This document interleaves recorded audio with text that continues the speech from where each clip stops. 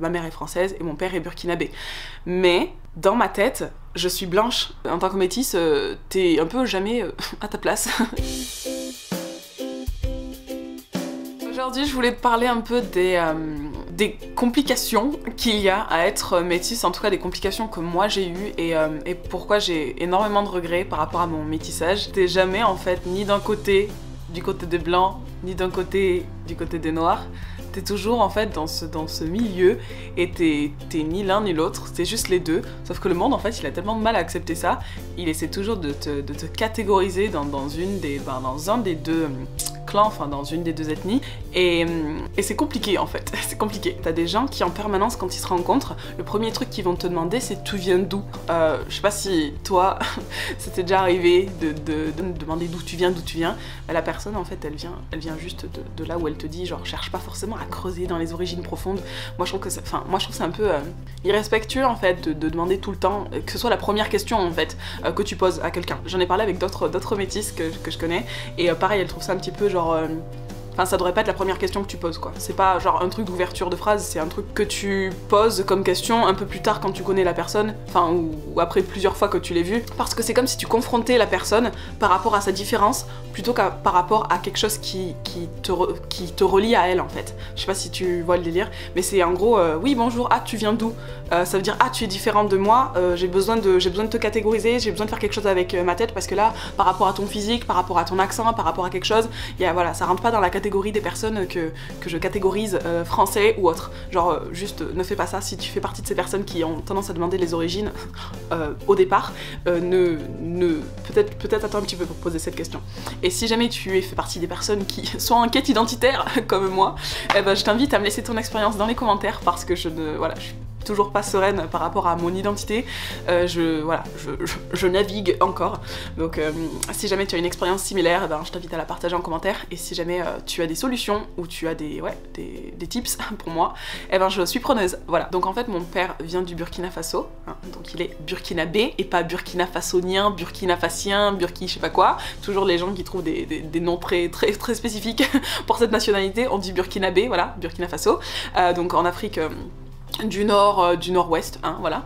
Euh, et euh, ma mère est française, blanche, caucasienne, enfin voilà, elle vient d'ici, et, et c'est tout. Et donc ils se sont rencontrés quand ils avaient quoi, genre la trentaine je crois, quelque chose comme ça, et puis ils ont eu ma soeur et moi, et en fait euh, je n'ai jamais eu de très bonne relation avec mon père, donc j'ai toujours vécu avec ma mère, et, euh, et j'ai très peu passé de temps avec mon père, donc j'allais le voir, enfin on allait le voir avec ma soeur très peu, c'était une sorte de garde partagée, mais à la fois pas vraiment partagée, euh, on le voyait des fois pendant les week-ends, mais très rarement, et sinon pendant les vacances scolaires, genre la moitié des vacances scolaires, et genre un Noël sur deux, un truc comme ça quoi. Mais bon, c'était jamais incroyable, on n'a jamais eu de très bonne relation avec mon père, et donc c'est aussi pour ça que je n'ai pas bénéficié de cette double culture. Bien que lui ait essayé de nous faire passer euh, des...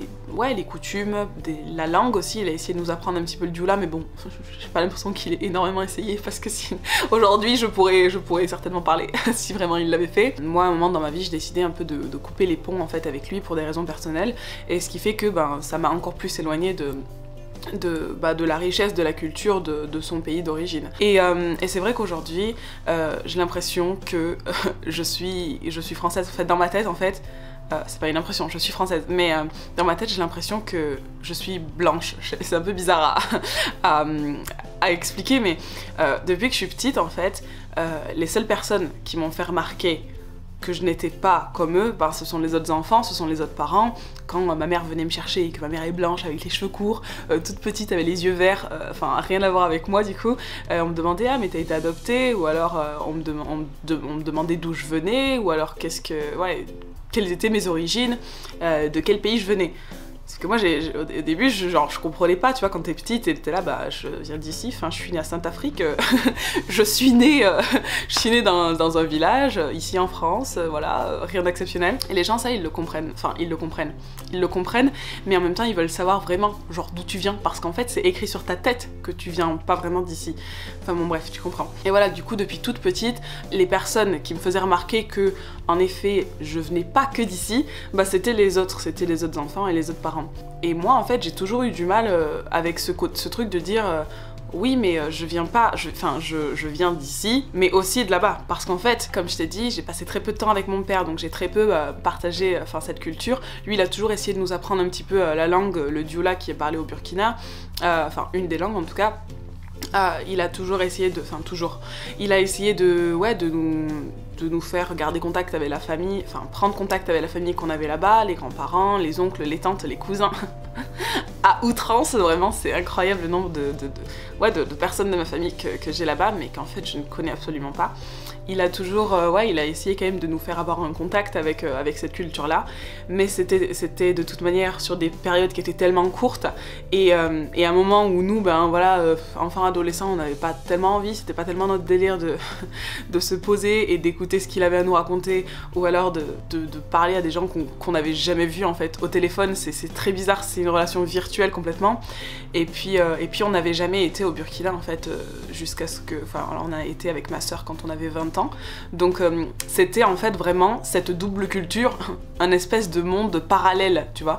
C'est ça qui est très bizarre parce que c'est écrit sur mon visage, c'est écrit dans mes cheveux, c'est écrit... Euh, c'est écrit partout, enfin, mon corps est à moitié, est à moitié blanc, à moitié noir, et, et c'est vraiment le premier truc que tu vas voir chez moi, que je ne viens pas vraiment d'ici en France, mais à la fois, moi, je sens que je ne viens que d'ici. Et en fait, c'est trop bizarre parce que t'as des gens qui, en permanence, quand ils se rencontrent, le premier truc qu'ils vont te demander, c'est tu viens d'où? Et moi, je viens d'où? Bah je viens d'une petite ville qui s'appelle Millau quoi. Je voilà, j'ai pas ce réflexe de me dire euh, oui je viens du Burkina parce que bah, j'y suis jamais allée euh, jusqu'à il y a deux ans, euh, où j'y ai passé dix jours de ma vie. Euh, et, oui, même si c'est écrit dans mon ADN, en fait, je viens d'où? Ben, Je viens de France, enfin vraiment, je suis un produit 100% français, je ne connais pas l'autre culture. Quand je rencontre quelqu'un à chaque fois et qui me demande oui, tu viens d'où? Et que je réponds du coup, bah, je viens de. Je donne la région en fait d'où je viens, parce que pour moi, c'est. Pour moi, vraiment, dans ma tête, le seul truc qui me vient, c'est je viens de. Je viens de, telle ville, quoi. Mais au fur et à mesure, bon, j'ai bien compris que les gens voulaient savoir quelle était ma deuxième origine ou quelle était l'autre origine puisque je m'exprime dans un français qui est tout à fait correct. Euh, je, voilà, j'ai même l'accent du sud à certains moments. Euh, je veux dire, je, voilà, je, viens d'ici, c'est clair. Mais euh, voilà, c'est vrai que les gens veulent toujours savoir d'où je viens. Et du coup, ben, j'ai évidemment commencé à développer le truc de leur dire oui, je viens, ma mère est française et mon père est burkinabé.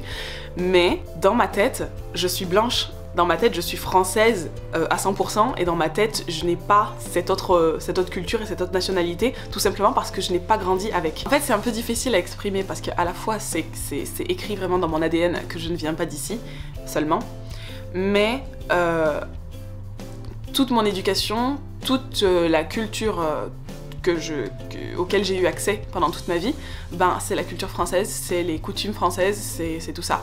De mon père, en fait, j'ai vraiment euh, très peu de... Très peu de... Ouais, j'ai des, des, petites parcelles de, de culture euh, burkinabé, mais c'est tout. Enfin voilà, à part goûter un peu de nourriture euh, qui vient de là-bas, partager quelques histoires, quelques contes africains, enfin africains, burkinabé.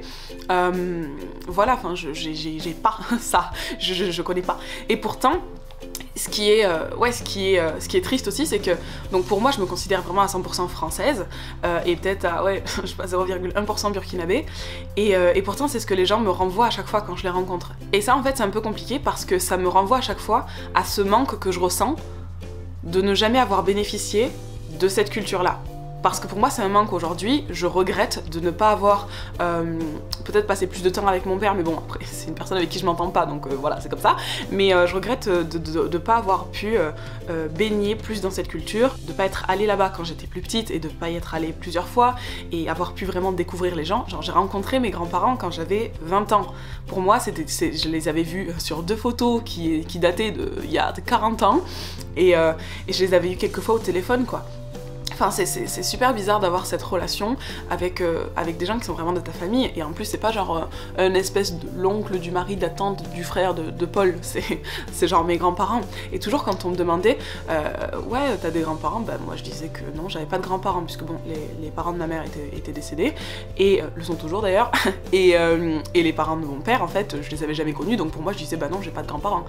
Et et voilà quoi, c'est vraiment, je, ressens, ressentais, j'ai toujours ressenti et je ressens toujours un manque euh, par rapport à, ouais, à cette culture, à ces, personnes que j'ai jamais vraiment rencontrées mais qui sont quand même de ma famille, euh, à ces personnes qui, qui elles ont beaucoup entendu parler de nous, euh, mes oncles, mes tantes, etc.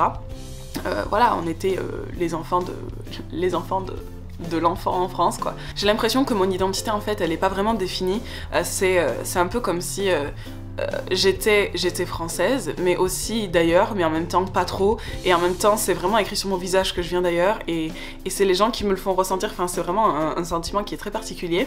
Euh, même en fait, ma mère, ma mère, elle est, ma mère, elle est tellement perdue dans notre métissage. Déjà par rapport à mes parents, genre c'était pas clair dans leur tête ce qu'ils voulaient que que je sois. Et voilà, genre euh, ma mère, à la fois, elle a des côtés un peu racistes des fois, et, et, et à la fois totalement militant antiracisme. Enfin, c'est un peu bizarre quoi. Je suis dans une, je suis dans une espèce de double, dans une polyvalence de, pensée. Enfin, c'est super dur à expliquer. Je te donne un exemple. Une fois, regardé un match de rugby à la télé et il y avait du coup euh, les filles qui font, euh, elles font euh, une ligne comme ça et puis elles chantent l'hymne de leur pays, l'hymne national. Et donc on regardait, c'était l'équipe d'Irlande à ce moment-là, Irlande contre la France. Et euh, donc les filles, euh, les filles chantent, la caméra passe devant euh, les têtes de, tout le monde quoi, pour filmer les filles, et là on voit une, fille qui a l'air d'être métisse, et ma mère elle dit, donc elle était dans l'équipe d'Irlande, et ma mère elle dit, ah ben elle ça se voit qu'elle est pas irlandaise. maman, je la regarde, je lui dis mais, mais je suis pas française maman. je lui dis mais qu'est-ce que tu racontes quoi? Et elle me dit, ah oui c'est vrai, ah bah oui. Et tu vois, enfin, genre rien que ce genre de, ce genre de détails comme ça qui te qui te rappelle en fait que même dans sa tête c'était pas très clair. Je lui dis mais maman t'as été avec un homme qui était noir quand même pendant plusieurs années. Comment tu peux dire ça? Enfin c'est c'est pas forcément c'est pas méchant mais c'est juste genre tu vois genre le cheminement de pensée qui est un peu flou ben voilà du coup c'est un peu dans cette dans cette ambivalence là que je me trouve aussi tu vois genre je suis là oui je suis française mais à la fois je suis pas française quoi clairement Tout ça pour dire que en fait je me suis toujours sentie plutôt euh, française et blanche euh, parce que bah, j'ai toujours été, euh, en plus je viens d'une petite ville donc bon, il n'y a pas vraiment, il a pas beaucoup, il avait pas beaucoup de personnes noires ou, ou d'autres d'autres origines disons, enfin c'était quand même majoritairement des personnes blanches caucasiennes. Et, et, du coup je me suis toujours identifiée à un groupe de personnes, tu sais, enfin c'est comme tu grandis dans un milieu, tu vois toujours ces mêmes personnes là et tu te rends pas forcément compte que toi t'es très que enfin très différent, je suis pas très différente non plus parce que déjà en tant que métisse la peau très très claire, donc euh, bon, voilà. Mais, euh, mais voilà, toujours, on vient vers toi, on te touche les cheveux, on te dit ah et tout, les cheveux, euh, c'est bouclé, c'est bizarre, enfin, ou alors c'est un mouton, ou alors c'est emmêlé, enfin, on te fait des remarques, voilà, ah tu les lisses, bref, des remarques chiantes. on te fait des remarques au fur et à mesure que tu grandis, ah oui, mais les Africains ou les Noirs, vous, vous savez tous danser. Et là, on te catégorise comme noir, alors que du coup, toi, tu te pensais plutôt blanche. déjà parce que ta peau est plus claire que les noirs et parce qu'en plus tu es métisse. Mais voilà, on te, on te, catégorise dans, une, dans un truc qui déjà est une réflexion qui est totalement raciste, mais en plus de ça, euh, c'est pas le, le, groupe auquel tu tu t'identifies. Donc du coup, t'es es encore une fois dans ce... Euh, je sais pas... Voilà, j'ai toujours eu la pression de mon père de me dire oui, euh, euh, ton nom de famille il est très important, euh, les personnes qui s'appellent comme ça, c'est des personnes qui sont très importantes, il faut porter ce nom avec fierté. Rien que mon prénom, Nayanka, genre personne n'arrive à le prononcer. j'ai eu droit à des Tatianka, Nanyanka, Nayanke. Tatiana même on m'a dit un jour. J'étais là vraiment, t'as capté aucune lettre toi du nom quoi. N'importe quoi. Euh, bref, voilà, euh, toutes les parcelles en fait de mon identité euh, et de ce que les gens voient reflètent quelque chose que je suis censée être mais que je ne suis pas. Et c'est aujourd'hui un regret que j'ai de pas avoir pu voyager au Burkina, de pas avoir pu connaître, de pas connaître les coutumes de là-bas, de pas connaître les croyances, de pas connaître ma famille, de pas connaître plein de choses comme ça. Et c'est ce qui me fait aujourd'hui voilà, je me sens un peu comme une imposteur parce que quand je suis allée au Burkina Faso, euh, on est passé 10 jours là-bas seulement, donc c'était très très court. Euh, nos oncles et cousins ont essayé de nous faire euh, visiter et voir un maximum de personnes et un maximum de choses, mais, mais c'est pas assez pour rattraper une vie en fait, enfin pour recréer une identité autour de ça. Donc aujourd'hui, bah oui, j'ai le souhait de, retourner là-bas, j'ai le souhait de, de, passer plus de temps avec les personnes, ce qui, ce qui me permet de, comprendre aussi mieux comment mon père, comment mon père fonctionne et comment, enfin par rapport à, son référentiel de, de, coutume, euh, tu vois ce que je veux dire. Donc euh, c'est voilà, aujourd'hui j'ai vraiment ce, souhait de, je, pense que je vais demander la nationalité euh, burkinabé, puisque du coup j'y ai droit vu que mon père est de là-bas. je, vais, je vais essayer de faire des démarches pour me rapprocher plus de cette, de cette autre partie de moi en fait, parce que vraiment depuis que je suis petite, mon père m'a dit oui mais tu es, tu, tu, tu viens pas que d'ici, tu es à moitié, tu es à moitié ça, mais Mais moi, j'ai jamais vraiment ressenti que j'étais à moitié à moitié, quoi. C'est toujours les autres qui me l'ont fait ressentir. Moi, j'ai toujours senti que j'étais blanche en fait. C'est bizarre, c'est bizarre, je te l'accorde. Mais voilà. Et aujourd'hui, je suis un petit peu triste parce que je me dis, euh, quand je, si j'ai des enfants un jour, euh, ben je vais pas vraiment, je serais pas en capacité de, pouvoir leur, leur montrer euh, pourquoi, genre, pourquoi j'ai la peau un peu plus foncée, pourquoi j'ai les cheveux plus frisés que d'autres. Euh, je serais pas vraiment en capacité de leur, de leur montrer d'où je viens, qui, qui, je suis, eh, qui je suis ou qui je suis censée être. Enfin, cette partie de moi que je suis censée avoir euh, découvert déjà, j'ai, voilà, vu que j'ai pas bénéficié des deux cultures de manière égalitaire, c'était vraiment 99%, 1% Burkina Faso, ben voilà, je, me sens un peu comme un imposteur quoi. Donc c'est ça aussi, ça, ça, me pose question pour, euh, pour ma vie future. Quand on allait au Burkina Faso aussi, on nous a bien fait comprendre qu'on n'était pas, euh, qu'on n'était pas noir, hein on nous a fait plutôt comprendre qu'on était blanche. C'est ça le truc. Ici, pour euh, les caucasiens, pour les caucasiens blancs, on est, on est noir et on, ça se voit qu'on vient pas d'ici. Et quand on est allé là-bas, au Burkina, ben ça se voyait qu'on n'était pas de là-bas non plus, tu vois vraiment. Les métis, les métis euh, noir-blanc, disons, on, pas, on, appartient à, un monde qui est, je sais pas, peut-être qu'il est parallèle, mais voilà, à quelque endroit qu'on soit, faut toujours qu'on nous demande d'où on vient, euh, qu'est-ce qu'on fait, bah, évidemment, parce que là-bas on passait pour bah, les babtous quoi. On était, on était beaucoup plus clair que les autres et puis on parlait euh, français donc sans accent, et puis bon bref, euh, c'est pas les mêmes cheveux exactement, c'est pas les mêmes les mêmes habits aussi, bref, tout un tas de ouais, tout un tas de trucs qui changent. Donc euh, voilà, en fait, en tant que métisse, t'es un peu jamais à ta place. en tout cas, jusqu'à ce que les choses changent. C'est super dur à dire, putain, c'est quatre fois que je répète. bref, t'as compris. Donc ouais, c'est compliqué d'être métisse aujourd'hui encore, en 2020. Donc voilà, j'ai pas euh, genre de conclusion à cette, euh, vidéo, c'est juste pour dire un truc que j'avais sur le cœur. Euh, je te remercie d'avoir regardé cette vidéo jusqu'à la fin, je te fais des bisous et puis, puis voilà, à la prochaine